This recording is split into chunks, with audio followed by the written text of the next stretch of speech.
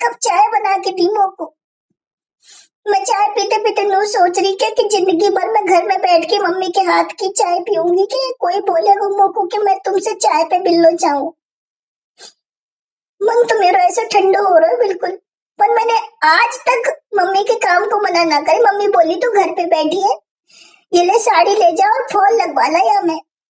मैं चली गई, मैं फॉल लगवा के वापस आ रही मोक पुष्पा मिल गई। बोले कि, मेरा बॉय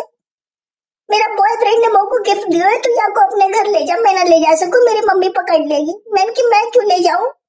तो बोले कि तेरी शिकल से कोई शक भी ना करेगा तो पे वहाँ को एस डब्ल्यू को होमवर्क मैं ही करूँ। तभी सहेली भी टोंट मारी है, टोंट। जीवन ही खराब हो गया मेरा तो।